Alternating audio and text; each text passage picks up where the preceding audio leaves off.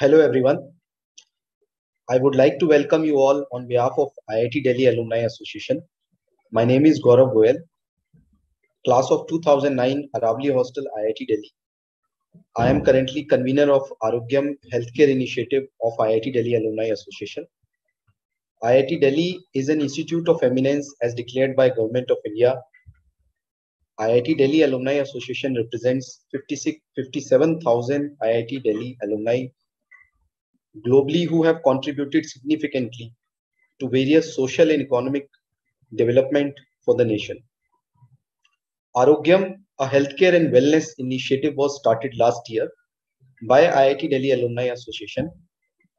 Sometimes in corporate world, in our busy schedule, we give less importance to health and overall wellness, and which has long-term ill effects to bring unique knowledge about healthcare and wellness to our alumni, we are organizing various such events in Arogyam initiative.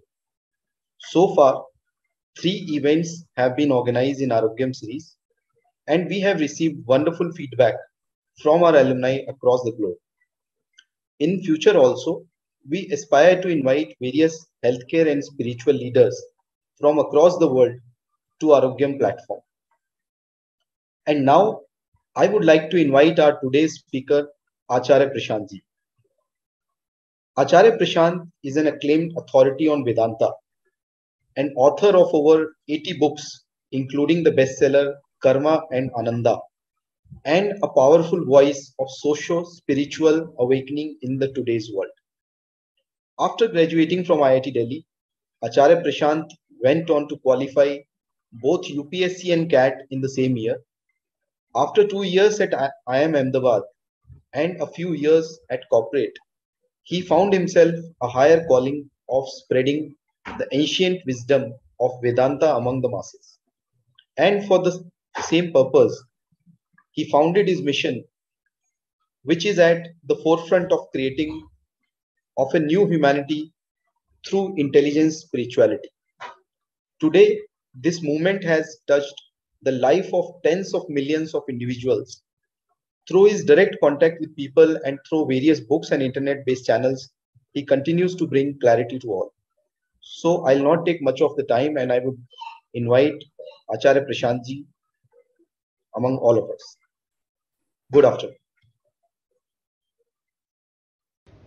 Thank you for having me here and for the kind introduction and I'm really looking forward to this interaction. Thank you so much. I would like to invite Mr. Pankaj for the first question to Acharya ji. नमस्कार आचार्य ji uh, मैं Pankaj Kapadia BTech uh, 2011 batch आपसे एक सवाल पूछना चाहता था कि do you believe capitalism is at the core of many problems we face today? If yes, what can individuals do about it? For example, at society level, income inequality has kept on increasing. At economic level, greed drives many business decisions as well as government decisions at times. At individual level, it puts us into a constant race for many more uh, things to achieve in terms of monetary gains and this is how we take education housing travel healthcare and they have been very expensive nowadays. So i want your opinion on this that uh, do you believe that this is the core uh, issue to address and how to go about? Acharya sir. Uh, thank you for the question pankaj. It's not as if uh, human beings are uh, all right within themselves and uh, pure of uh, intention, simple and innocent beings, and then somehow an alien system called capitalism invades them and uh, victimizes them. Hmm?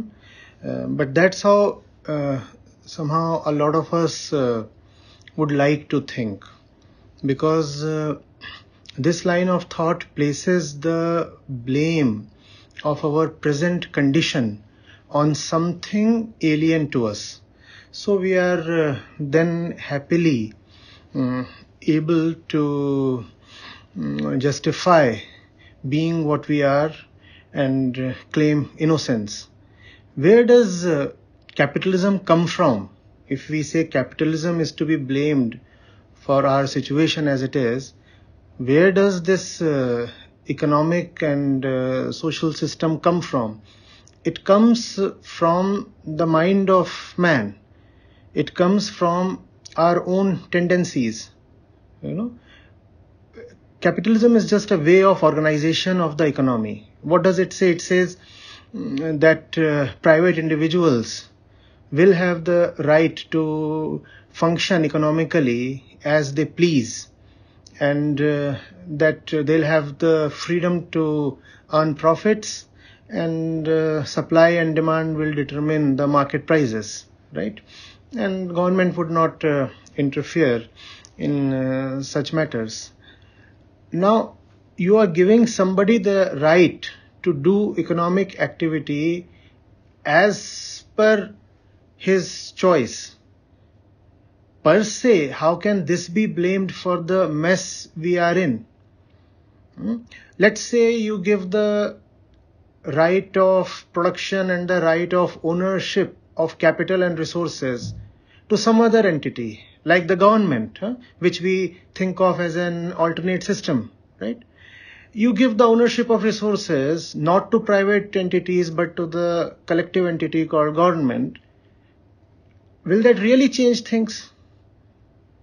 Because uh, if the mind of uh, the human being is corrupted then so will be the mind of the government no? Hmm? i am someone who has been given the right to operate freely and produce and uh, sell as i please. What will i produce? How will i sell how will I entice my prospective consumer to buy? That depends on uh, the direction of my mind and the center I am operating from.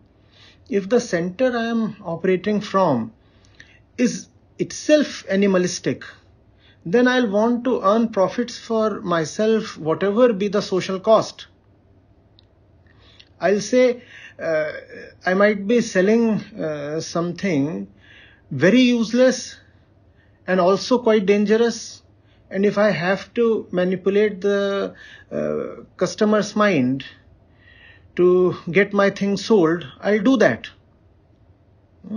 You let the government uh, have control of uh, goods and services. And the corrupt mind is found there as well. There the corrupt mind will manifest itself in some other form we know the kind of uh, corruption that prevailed in the erstwhile USSR. We know what went behind the Iron Curtain. We know why economic activity had to collapse and why the collapse of economic activity was one of the reasons behind the disintegration of that country. So, if we are rotten from within, that rottenness will show up irrespective of the economic system, philosophical system, political system, social system we choose for ourselves. No system will have the power to redeem us because we are the fathers of all our systems. Systems come from us. We don't come from our systems. So the point, the systems come from, the source, that has to be cleansed but that involves something very challenging. That involves challenging the very ego of the human being. And uh, all that we see around ourselves is nothing but the game of the ego hmm? the fundamental existential self. It the game is on for the sustenance the furtherance and the protection of the ego. The ego will not want the game to shape up in a way that challenges the player itself, that challenges the existence of the player itself. The game exists for the pleasure of the player. The player is the ego. But if you want to play the game in a way that the player runs the risk of annihilation, then the player refuses to play the game. But that is what we need today. Otherwise, uh, all that we are staring at is uh, um, massive destruction of the kind we have never historically witnessed. Right? So, it, it's not about uh, a debate between philosophies it's not capitalism versus socialism. It's not any ism versus any other ism. It's fundamentally about uh, self knowledge. Do we know who we are? Once we realize who we are, our trust on the products of our thought will reduce. And then we will be a little cautious of seeking solutions in systems of thought. You can come up with uh, newer and newer systems of thought, place your faith in them, and hope that the new system, the, the seemingly innovative system, will redeem you. Unfortunately, it won't because of the simple reason that we are reiterating it is all coming from the same center. It is all coming from the same place. So a new system may offer a, a glimpse of redemption. It may entertain us and uh, uh, make us optimistic for a while, but these are uh, all false beginnings. They they offer a promise that does not last the change that we need is inward. And it sounds cliched i know it's been repeated so many times. It's been repeated so many times but it has never been executed. So let's not just uh, dismiss it as uh, another cliche. We need an education system in which the child is uh, very clearly, openly, rather ruthlessly helped to face his, her animalistic, prakritic nature. When we realize that our fundamental tendencies are all very gross, very primitive, and therefore we are not to place our deepest confidence on ourselves, then we'll develop a certain humility and try to look for uh, solutions beyond what our animalistic tendencies and uh, subsequent thoughts propose to us. Without that, uh, I, I, don't really see um, a, a solution all that we think of as solutions are nothing but extensions of systems that are already prevalent in the jungle. It's just that we have the added power of intellect as a privileged species. So the same things that operate in the jungle get uh, mm, get ornamented with intellect and operate in our cities and countries. That does not make them any any fundamentally different from what we see out there in in the in the jungle. And if we want uh, really something that is subtle, nuanced, sophisticated, sublime, then we'll have to look at another source within us that will give rise to something else. Operating from the same source, we cannot get a different output, a different result. Thank you, Acharya ji.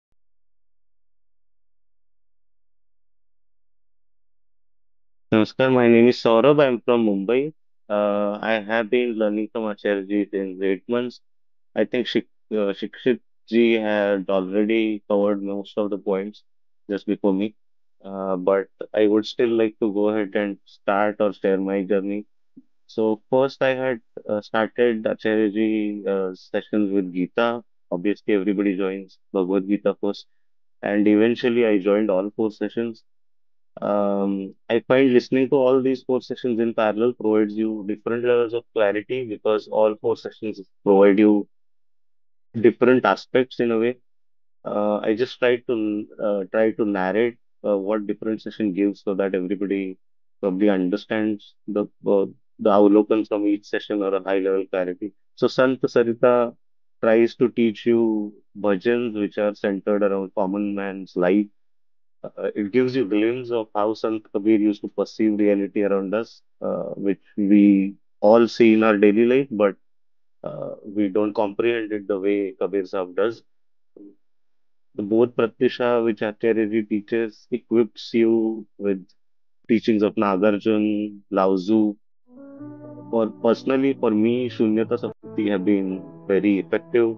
Uh, I don't know because I had this fascination probably about mukti, but Shunyata Saptati even takes you takes that away from you. There is no mukti because there is no one. So that is personally effective for me. Then the third session that I regularly listen to is Vedanta Samhita, which is a very core uh, learnings from Upanishad and Ashtavakra Gita that we uh, received from Acharya Uh, they are based on direct Advait Vedanta principles uh, since I have joined Acharya, I have read a literature on Advaita in written by multiple people, and the finally Srimad Bhagavad Gita session with which uh, everyone starts their journey with Acharya. Bhagavad Gita is just magical. Uh, it takes you to places where you can never imagine to go. I don't know, it will break you, but I think that damage will lead you to some place else where you had never imagined to go. Bhagavad Gita is great.